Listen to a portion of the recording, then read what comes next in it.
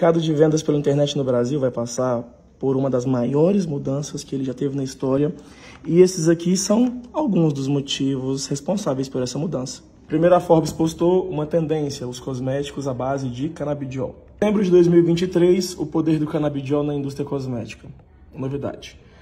Cosméticos à base de cannabis, um mercado a todo vapor. Novembro de 2023, um mês atrás, em um ano, o mercado de cannabis medicinal dobra no Brasil, movimentando quase 700 milhões de reais. Em setembro de 2023 acontecia o seguinte: o setor de cannabis realiza a primeira feira de negócios no país de olho na mudança da legislação. Os Estados Unidos, enquanto isso, esse mercado vai atingir 45 bilhões em vendas até 2027. Só que antes de você virar para mim e falar, ah, esse é o mercado recreativo, tem que falar, não tem nada a ver. Tem dois mercados, que é o recreativo e o medicinal. Também tem o mercado de cosméticos. A cannabis recreativa não tem uso nenhum para o mercado de cosméticos e o medicinal. A cannabis medicinal e a cannabis de cosméticos é o cânhamo, tá? Totalmente diferente, não tem nenhum uso recreativo.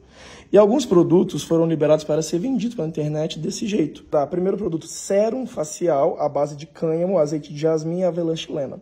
Esse aqui é para dores, nicho de dores. Isso é um creme que a gente trouxe do Uruguai para dores, que também está prestes a ser liberado. Por último, mas não menos importante, tem um gloss aqui também que veio do Uruguai. Vai ter um reset no marketing digital. Todos os tipos de produtos vendidos vão mudar. Porque além do Brasil mudou e porque o mercado muda todo dia. E eu vou fazer uma live hoje para te preparar para o grande reset do marketing digital. O grande reset é dia 8, 9 e 10. Se você não se cadastrou, clique em cima e se cadastra. A live de hoje é só para te contar tudo sobre o mercado de cannabis que vem para o Brasil a todo vapor a partir de agora. Te espero hoje, 7 horas da noite no YouTube.